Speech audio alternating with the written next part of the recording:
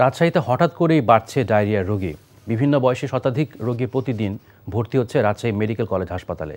তাপমাত্রা পরিবর্তনের পাশাপাশি খাদ্যাভ্যাসের কারণে ডায়রিয়া রোগী বাড়ছে এমন দাবি করে চিকিৎসকরা রমজানে রোজাদারদের বিশেষভাবে সতর্ক থাকার পরামর্শ দিয়েছেন।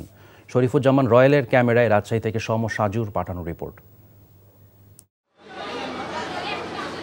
ডায়রিয়া রোগীর সংখ্যা হঠাৎ বেড়ে যাওয়ায় চাপ বেড়েছে রাজশাহী মেডিকেল কলেজ হাসপাতালে। বেড খালি নেই, শিশু, নারী ও মেডিসিন ওয়ার্ডে। মেঝের পাশাপাশি ওয়ার্ডের বারান্দায় রুগী রেখে চিকিৎসা দিতে হচ্ছে হাসপাতাল কর্তৃপক্ষকে।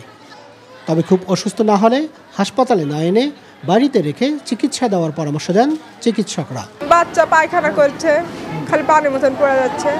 এখানে আসে স্যালাইন দিল স্যালাইন আর এই ওষুধটা দিল।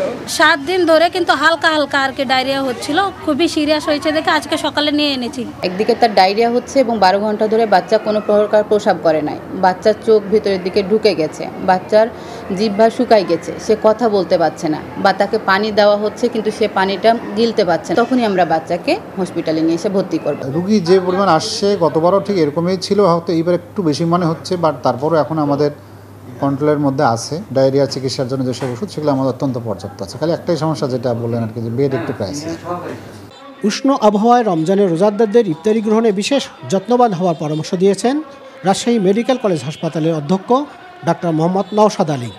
তা না হলে ডায়রিয়া পরিস্থিতির অবনতি হবার আশঙ্কা করেছেন তিনি। এই খুব শরবত খুব বিক্রি হয়। মানুষ খুব পপুলারলি খায় এটা। এখানে কিন্তু ডায়রিয়ার জন্য একটা বড় কারণ। অন্য অন্য বি- বাজারে বিক্রি হয়। ধুলাবালের মধ্যে যদি থাকে এগুলো খেলে পরে ডায়রিয়া হয়। এগুলোর জন্য না খাই। এই যদি আমরা প্রিকশন নিতে পারি খাদ্যের ব্যাপারে খাদ্যাভ্যাসের ব্যাপারে তাহলে কিন্তু ডায়রিয়া প্রতিরোধ করা সম্ভব। পানি ও খাদ্য গ্রহণে একটু সচেতন হলেই ডায়রিয়ার মতো রোগ থেকে রক্ষা পাওয়া সম্ভব বলে জানিয়েছেন চিকিৎসকেরা। Saju NTV news Rajshahi.